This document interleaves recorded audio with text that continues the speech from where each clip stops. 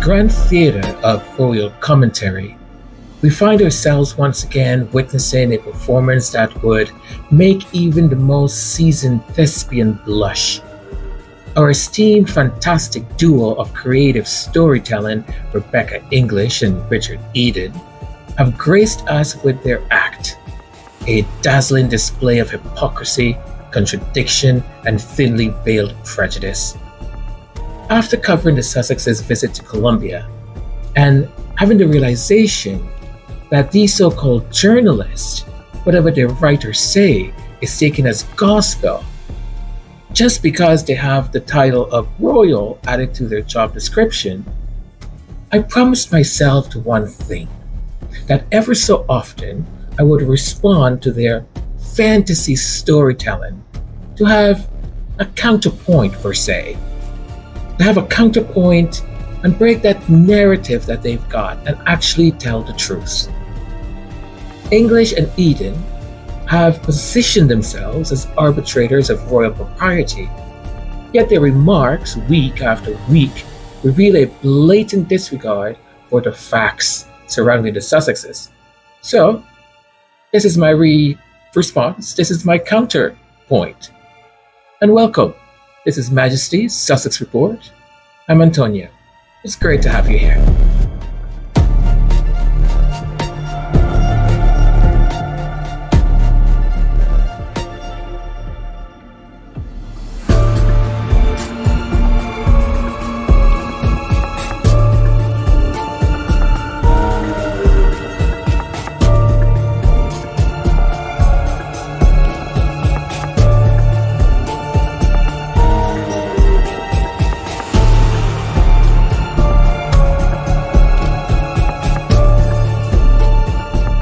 Let's begin with their masterful deconstruction of the Sussexes' recent trip to Colombia.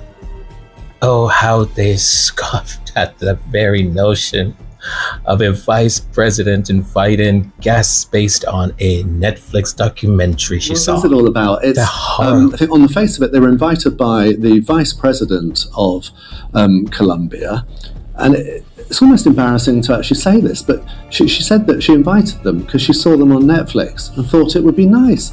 I mean, where do you start? What you know, would she just invite the stars of a you know her favorite comedy or something? But well, they were obviously.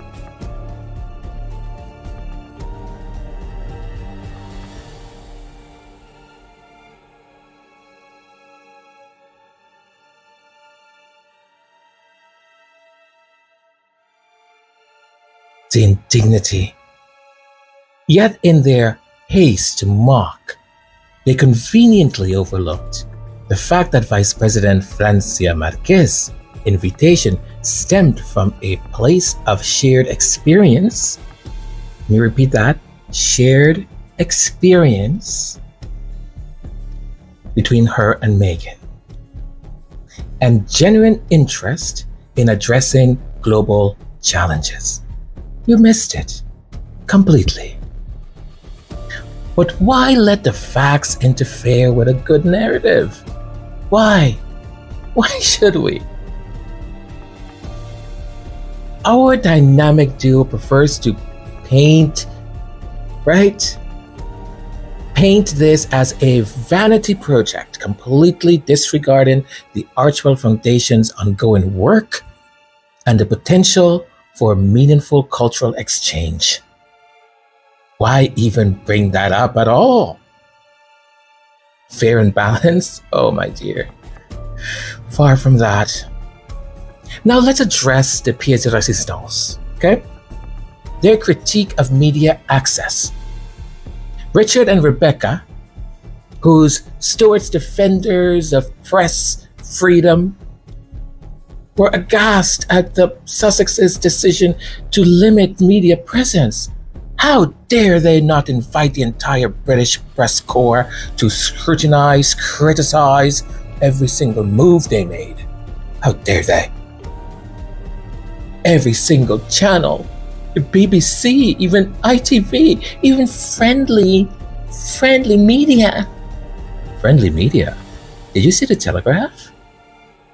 What planet are you on? What have you smoked? Well, maybe maybe you need to eat something, my dear, because you're not making any sense. Yet, in the same breath, they bemoaned the, the, the, the propaganda produced by the chosen journalists. It's almost as if they have forgotten their own roles in the royal media circus. The irony is thick enough to cut with a knife when Rebecca compares this to North Korea, conveniently ignoring the Daily Mail's own questionable practices.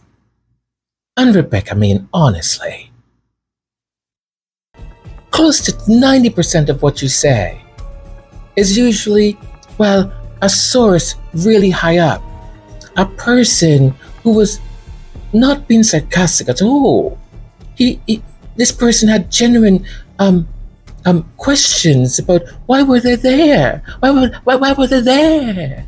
Why, why, why, why were they there? Well, I was going to add to that, Richard, just to say that I was speaking to somebody very senior in Royal Circles in recent days, and they said to me, Rebecca, genuine question. What, what did they hope to achieve by this? They weren't saying it with any sarcasm. They're like, because people are trying to work out. And I said, I think personally, and I don't have any with Harry and his team, uh, so I can't tell you what they think. But I think it's about relevancy. It's about desperately trying to establish the fact that they are still relevant people on the world stage. And much as Harry's railed against the whole way that the institution works, um, doing these kind of royal tour style things are the only thing he's ever known. So I think he's almost clinging onto it like a like a comfort blanket. But is is that person Richard, darling? Was it Richard who tapped you and said, "Hey, um, are you saying anything as to why they were there?" No. Okay. So what are you gonna say?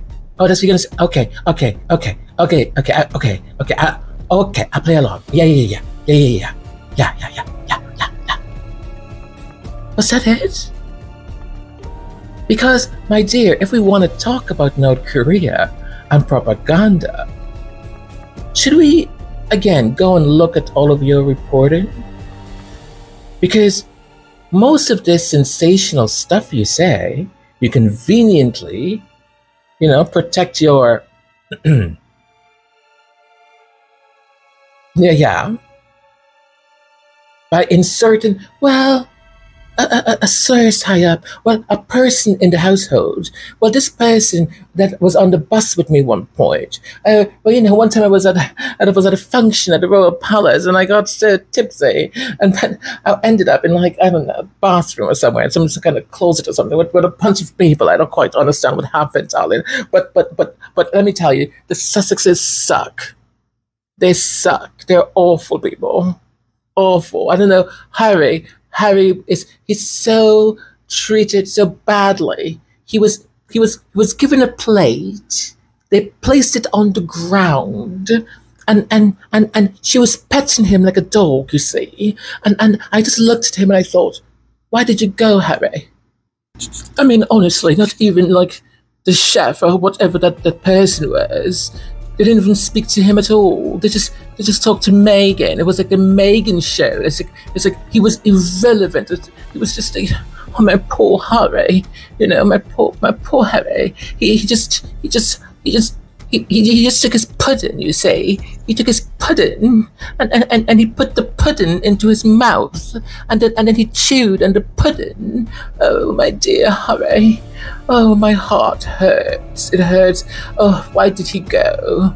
I, I, I was doing so much. I was doing, I was, I was doing, I was making sure I was appealing to him, you see. I, I, I, I, I cut my hair and I also I, I, bought new, new, new, new, beautiful, beautiful tailored um, um garments, you see, and, and and and I was I was I was I was just about to look so splendid that I would have been irresistible to him. Why did he go? I mean, why? Oh my goodness, my dear. Please. Are you alright? Do you need like a break?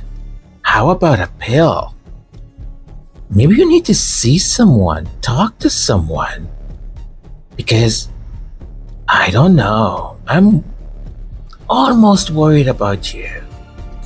But then I would be I would be lying. Basically. Oh, let me rephrase that. A very well placed source in the show did say to me that they were worried and also that I don't know how to say this, but the well placed source. I mean, this is a very important source, said to me that you have a shrine of Harry, and then you have another thing with Oh, you don't. I sh- oh, no, no, don't continue. No. I'm just saying, though, a very well placed source told me this. English and Eden's hypocrisy. Hypocrisy becomes even more apparent when you consider their selective reporting. They conveniently ignore the fact that other royal figures, such as William and Catherine, have faced similar issues with staff retention. Issues that are downplayed or ignored entirely. As long as it fits into their narrative, right? Instead, they choose to frame the Sussexes as the villains, the villains of the story. So I don't understand how you're going to blame the Sussexes for household staff that is hired not by Prince Harry or Meghan, is hired by the household. Now, they're having issues with what you folks are doing because you are relentlessly attacking them, right? It's become now unsafe. And if you don't believe me, I mean, go ask the head of the of the of, of this of the royal protection, um, how would you characterize the threats that Meghan and Harry received? Well, disgusting and very real. I've talked publicly for many years about the threat of extreme right wing terrorism in this country. I've often been misquoted as, as taking my eye off the ball, as though I think that that was the biggest threat. I've never called it the biggest threat, but it was the fastest growing. You know, and my wonderful friend and counterpart at MI5 will tell you exactly the same thing. That when I started in CT in 2015, counterterrorism, counterterrorism, it was about 6% of our total workload. Certainly when I left 15, 16 months ago, it was over 20% of our workload. But there were many serious, credible threats against Meghan, were there, emanating from the far right? Absolutely. If you'd seen the stuff that was written and you were receiving it, the kind of rhetoric that's online, if you don't know what I know, you would feel under threat all of the time. So you were convinced that there was a genuine threat to Meghan's life on a, you know, on more than one occasion, on several occasions. Absolutely. We had teams investigating it. People have been prosecuted for those threats. Well, there it is. Thank you, Neil Basu. I honestly, when this came out, this interview came out, I was so excited and happy because it was an official person saying what so many of us already knew was that kind of happening. And I, I, I, I'm starting to think that the people that either needed to watch this or see this or listen to it have not. Or the minute the person or the, or, or the interviewers uses the name um, Meghan Markle or Prince Harry, they shut down or something. Because I don't understand how people can't make the connect the dots that when you have a um, tabloid media press that consistently every single day the same drumbeat this person is bad this person is bad this person they're evil they're evil they're evil they killed the queen they killed the queen all this nonsense that is said every single day for the last almost eight years and not a thing has happened to any of these people. When Prince Harry says his wife is not secure in that country, he is 1000% correct. And even for him, he needs to be very careful also. Because any person with just a slight little, slight little twitch in their mental health, and if they're an avid listener, watcher of that stuff, and still, Rebecca English and Richard Eden and that whole party continue every single day, every single day with the tabloids, with the articles, and always, always, not a bit of remorse about anything. And I pray, I pray that the good Lord Jesus, that's all I'll say. Hola, beautiful people. Just a quick break to say thank you to each and every one of you. Thank you for being here. Thank you for tuning in. And thank you for your consistent and wonderful support. I really, really, really appreciate it. If you're enjoying today's content or, or conversation or discussion, please consider showing the subscribe button some love. Just give it some love. And while you're around that area, thumbs up gets really jealous. So if you can show thumbs up some love also.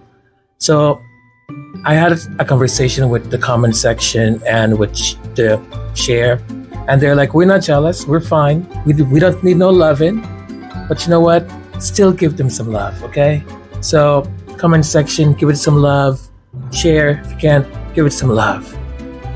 And if you're feeling generous or in the spirit of generosity, and you're able to donate to the channel, small or big, um, it all matters.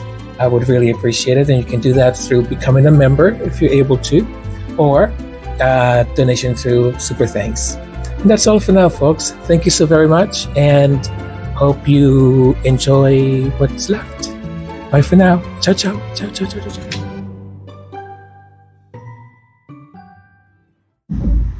You continue to peddle lies and to continue to build hatred just because. Just because. this isn't about poor journalism. It's about a calculated campaign to maintain certain image of the royal family. One that is white, traditional, and unchallenged.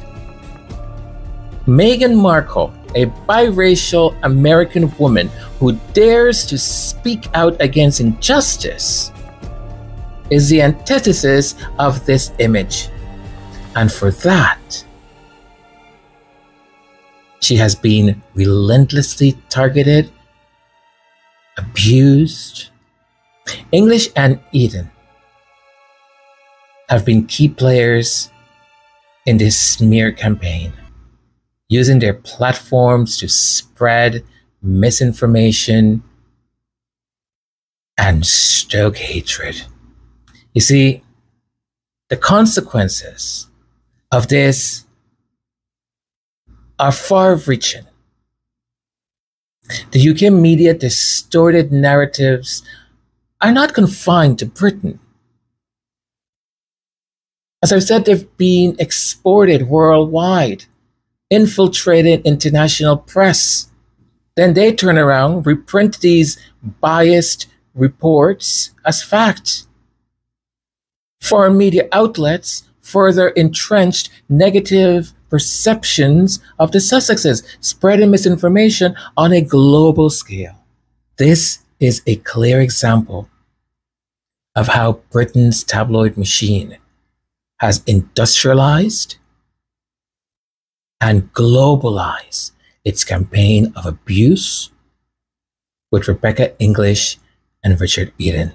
Moreover, the ethical breaches by these so called journalists go beyond their biased reporting. Prince Harry is currently suing the Daily Mail, which employs both English and Eden. He's suing them for alleged illegal surveillance tactics. This conflict of interest is never disclosed in their reporting. Further calling into question the integrity of their work. Listen, English, Rebecca, has even been accused of paying private investigators to spy on Harry's former girlfriend, Chelsy Davy, a tactic that aligns with the tabloid long history of privacy invasion and unethical behavior. You see, Rebecca English and Richard Eden, they're not really journalists. They're not truly reporting on anything, really. They are enforcers of a toxic, outdated regime that cannot tolerate change.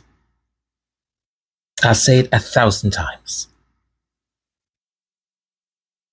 They are active participants in a campaign of character assassination, one that seeks to uphold a narrative that marginalizes and vilifies those who challenge the status quo. Now, Bianca Betancourt, Bianca's inclusion in the Colombia visit should have been celebrated as a step towards more diversity and inclusive media coverage. Instead, Rebecca and Ricardo chose to mock her, revealing their true colors. Not like they weren't revealed before. But let's be clear Betancourt's credentials and integrity far outshine those of her detractors. She represents the future of journalism, one that values truth, diversity, and social impact over sensationalism and deceit. So, my dear, let's see what Bianca's CV looks like. She's the digital culture editor for Harper Bazaar. Editor, darling, editor. She's worked for Teen Vogue, Vox, Vice, Rolling Stones, The Washington Post. Oh, you two can just fantasize about that. Fantasize. But what are you left to write? You left to write your talents, my dear. Your talent is indicative of what you write for. You see, Bianca is the digital culture editor of Harper Bazaar. Also worked at Teen Vogue, Vox, Vice, Rolling Stone, The Washington Post, and there's a few more that I'm not mentioning right now because they're in Spanish and you wouldn't get it, so it's okay. But you see, talent gets to write and work at these places, these esteemed institutions. You see, when you, your talent is not up to par, then you write for rags. Are, are you getting my drift here? So your talent matches. Uh, okay, I don't need to repeat it. Are you sure? All right. Okay. She graduated from Columbia College, not Colombia. Okay, not the country. From Colum C O L U M B I A. All right? Because I know you tend to confuse the two. Her degree is in broadcast journalism. Now, someone high up told me that you said that you may have a degree, or both of you may have degrees in broadcast journalism. Because if you do, I may ask you to go back and check out like what you've learned and if you're still adhering to the ethics of journalism. Because I know some time has passed, you know, maybe you need some refreshing. And she's bilingual Spanish and English. Maybe that's one of the reasons she was picked also, since they were going to a Spanish speaking country. Who knows? Who knows? I don't, but I don't go around like inventing things out of my earth. I just don't. Look, in the end, what we're left with is a royal farce. Two so called seasonal journalists so caught up in their own narrative that they've lost sight of the very principles they claim to uphold. They rail against media manipulation while engaging in it themselves. They decry the lack of access while ignoring their own conflict of interest. In the grand tapestry of royal reporting, Rebecca English and Richard Eden have woven themselves a tale so full of holes, it's a wonder it doesn't fall apart at the seams. But then again, perhaps that's the point. To keep us all distracted with the spectacle while the real stories unfold just out of sight. In the world of royal commentary, all that glitters is not gold. Sometimes it's just fool's gold, polished to a high shine by those who profit from its luster. The British media's war on the Sussexes is not just an attack on two individuals, it's an attack on the values they represent. Values that threaten the traditional power structure upheld by the likes of Rebecca English and Richard Eden. It's a story about the broader dynamics of power, privilege, and race within the British media and beyond. Rebecca English and Richard Eden are not merely reporting on royal family. They are actively shaping the public's perception of it, using their platform to reinforce a narrative that marginalizes those who dare to be different. Rebecca and Richard are not just ethically questionable, they're dangerous. By perpetuating falsehoods and, and, and stoking hatred, they contribute to a climate of hostility that has real world consequences. Meghan and Harry have been subjected to relentless abuse, much of it fueled by the very narrative that English and Eden promote.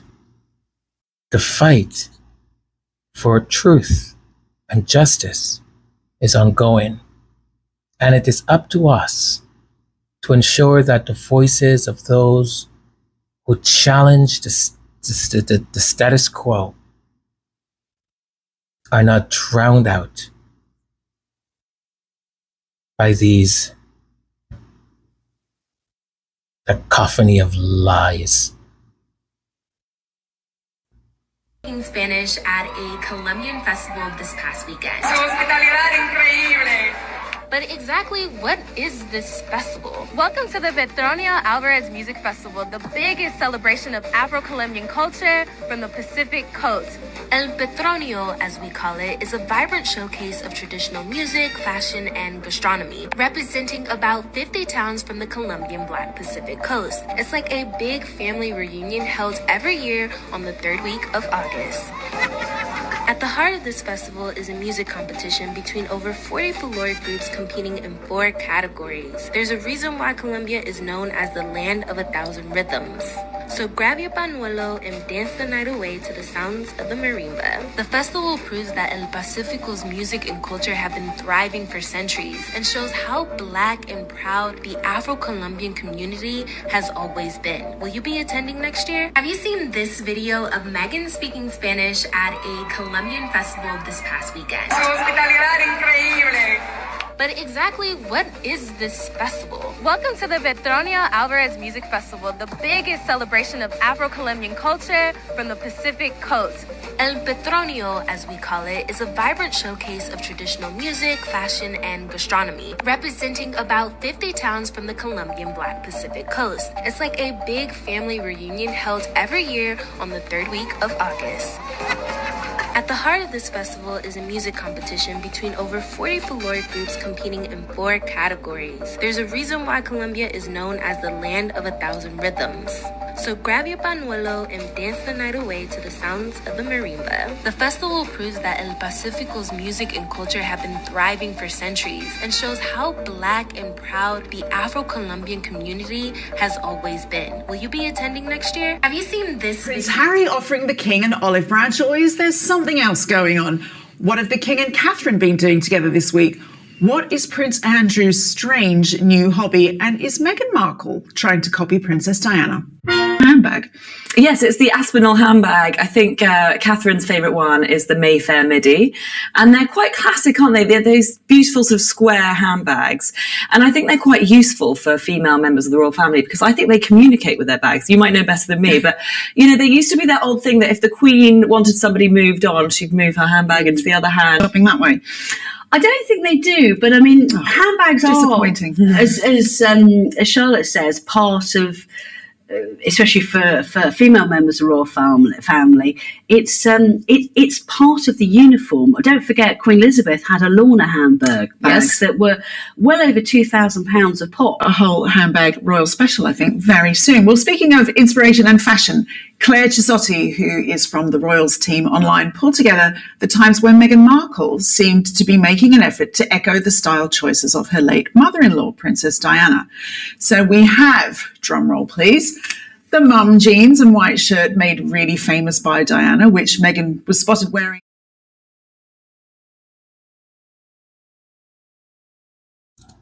So, ladies and gentlemen, welcome to another episode of the Royal Commentary Circus, where the main act features none other than Rebecca English and Charlotte Griffith.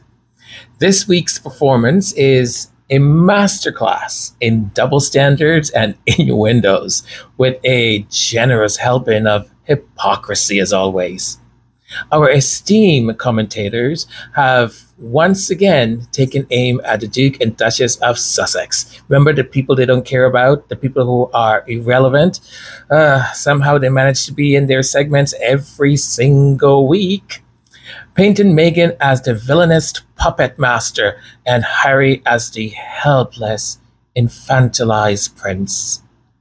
The narrative is as tired as it is predictable. Harry, who has repeatedly stated that his family and Meghan is his priority, is portrayed as a man torn from his roots, a spare, quote unquote, in more ways than one. I am not inventing this, folks. Consider their treatment of the Sussexes. Recent trip to Colombia, English and Griffith dismiss it as a faux royal tour. I don't even care because they're the ones who called it that, and now they're the ones who are criticized it because it's called that. You bunch of idiots. Ah, buy a vowel or something. All the while, waxing lyrical about the Balmoral gathering of the rest of the royal family. They, the double standards is glaring. When the Sussexes engage in public in Dover, it's a desperate bid for relevance. When the rest of the family does it, the same thing, it's a heartwarming display of unity. Ay, ay, ay. Then there, there, and then there, there's there's a matter of Meghan's investment in a handbag company. Our commentators suddenly became fashion critics, extolling the virtues of British brand favored by the royals. the thinly, and I mean really thin, the thinly veiled attempt to troll Meghan is as transparent as it is petty. Sorry, I don't know why I'm giggling, but is this journalism, folks, or merely gossip with a royal seal of approval? The pièce de résistance, however, is their discussion of Harry's memoir, Spare, in a stunning display of cognitive dissidence, they managed to simultaneously condemn the book's existence and lament the lack of a new, new material in the paperback edition. They criticize Harry for not updating it, while in the same breath expressing relief that they, that they, that there won't be more negative content. Oh man. One wonders if they've considered the possibility that perhaps, just perhaps, Harry has said his piece and wishes to just move forward. And when he feels like saying more, he will. The lack of journalistic integrity is staggering. Facts are twisted, context is ignored, and speculation is presented as truth. The constant use of unnamed sources and royal insiders allows for, for, for the spread of unverified information without consequences. This is not reporting. It's it's it's it's rumor mongering dressed up in royal robes. Let us not forget the real world consequences of this relentless negativity. Prince Harry has explicitly stated that he fears for his wife's safety in the UK due to the hatred stirred up by such commentary. It takes but one unhinged individual fueled by this toxic narrative to turn into a dangerous, dangerous action.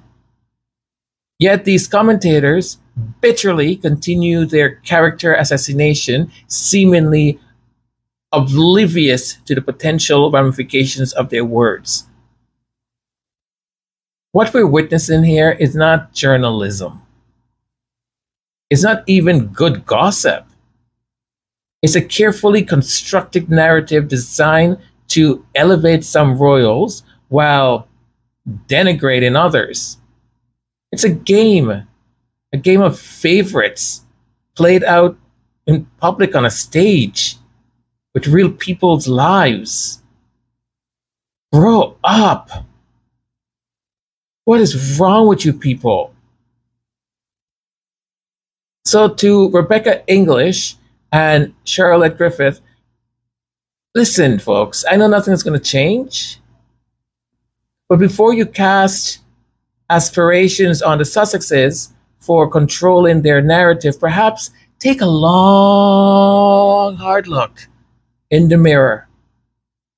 Your hypocrisy is glaring, and it's time for a reckoning. Gosh, the public deserves better than this circus of misinformation and innuendos. God save the truth. Thank you all. Thank you so very much. Thank you for being here. Thank you for um, being part of my journey. I love being part of this community and I love the things that we're able to do and um, the way we're able to help each other and uplift each other. Thank you so very much. I don't want this this this this episode to pass without, as we wrap things up, for us to have gratitude and give thanks for all the wonderful things that we have in our lives, even the things that are challenging, to give thanks for them, and for us to pray for a wonderful friend and and and and you know sort of the the the guy with the lighthouse that so many of us who um, started out with our channel and and and are building it slowly, little by little. I know I for, I turned to um, Baron and and asked for advice and and and all of that, and um, I will forever be um, grateful um, for his words and and everything that that that he has done.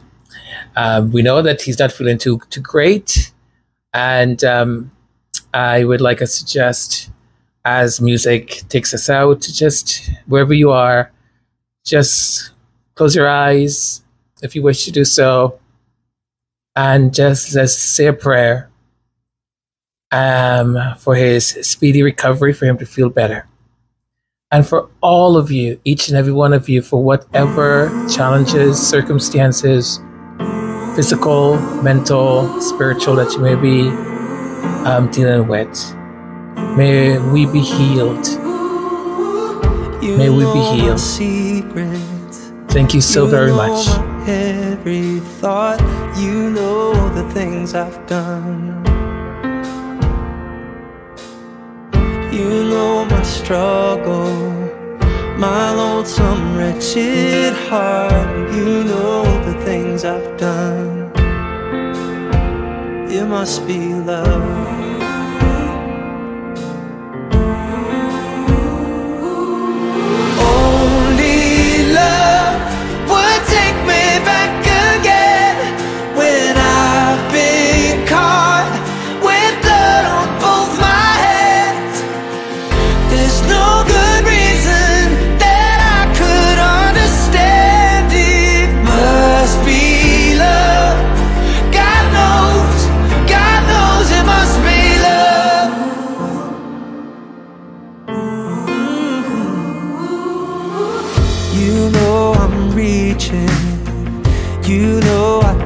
So hard to fix all the things I've done.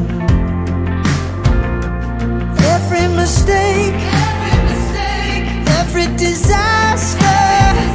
When I run away, I run away. Love's running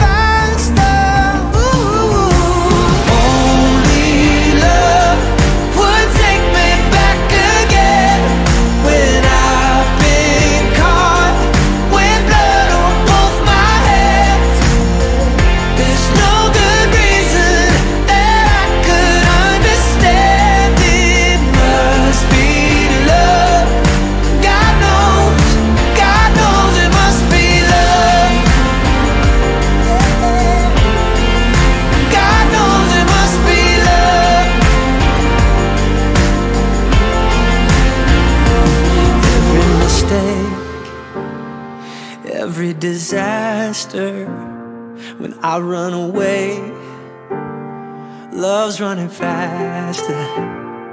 Every mistake, every mistake, every disaster, when I run